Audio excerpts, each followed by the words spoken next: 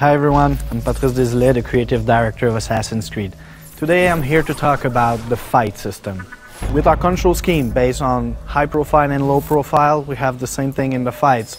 We have the attack mode, where you attack a lot. You can go from one enemy to the other. And then you can go in defense stance. And the defense stance is all about watching what's going on and waiting for the right moment to do some counters.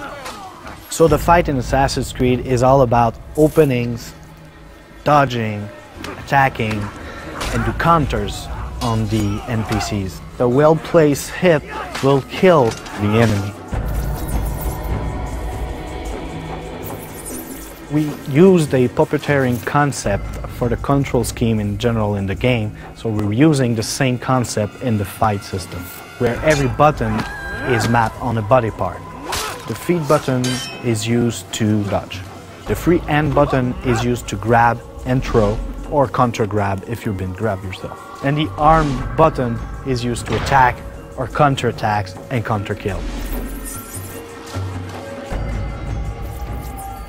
Every single weapon has its own windows of opportunities. You have your sword to do pretty powerful attack. You have your throwing knife to do long range attack. You have your fist to do fist fight.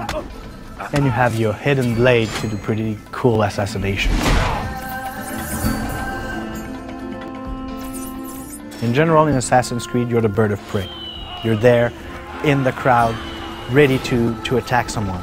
But once you do, you'll have your entire city against you and trying to get you. So running in a crowd while in escape mode, it's just like a football game. So every NPCs is like a moving obstacle. But also, if you don't want to deal with the crowd, you can use your free running abilities to go on the rooftops and have a total different chase sequence. When you're chased by a soldier, the HUD will change and a red icon will appear telling you that you're being seen by soldiers.